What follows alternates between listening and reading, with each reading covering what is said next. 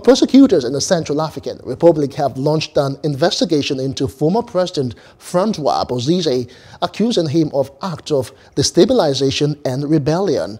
Last month, the government accused him of staging an attempted coup as a coalition of rebels marched on the capital, Bangui, ahead of a general election. Bozize, who was barred from standing in the 27 December poll, denied the allegations but said he supported the rebels. The United Nations force in the CAR says the rebel advance has been halted. On Sunday, militias seized the key border town of Bangassou, causing thousands of civilians to flee. Hello. Hope you enjoyed the news. Please do subscribe to our YouTube channel and don't forget to hit the notification button so you get notified about fresh news updates.